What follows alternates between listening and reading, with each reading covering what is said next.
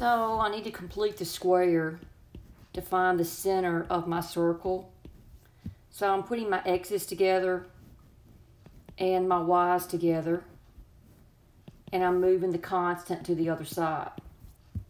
So complete the square on the x's. The formula is plus, it's always 1 half times b, and that's negative 6 squared.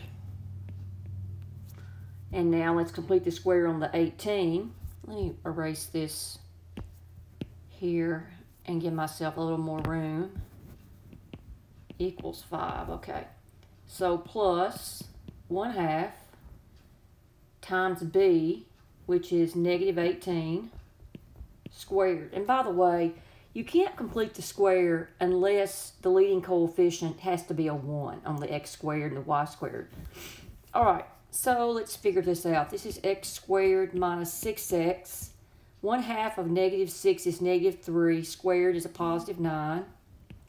Plus y squared minus 18y plus 1 half of 18, that's 9 squared is 81. So we've added a 9 and 81 to both sides. We've got to add it to the other side to keep the equation equal. Okay, so now let's factor. That's x minus 3 squared plus what? y minus 9 squared equals 81 plus 14. That's a 5, it's a 95. So we know the center is 3, 9. All right, and then it asks for the radius. So this is r squared. So that means r equals the square root of 95. And now we're going to find the x-intercepts. So to find the x-intercepts, you let y equal 0. So that's going to be x minus 3. Find the x-intercepts. Let me label that.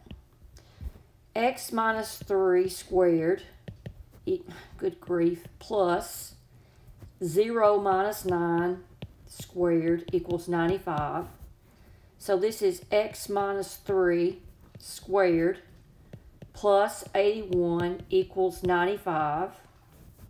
This is x minus 3 squared equals 81. Subtract, that's 4, that's 14. Now take the square root of both sides, and that gives me x minus 3 equals plus or minus square root of 14 after the square root of both sides. So your x-intercepts are x equals 3 plus or minus the square root of 14. Okay. And then the y-intercepts, y-intercepts, you let x be 0. So plug a 0 in here, so that's going to give you 3 squared, which is 9, plus y minus 9 squared equals 95. And that's y minus 9 squared is 86. So take the square root of both sides. y minus 9 equals square root of 86. Did I say plus or minus? I don't think I did. Plus or minus.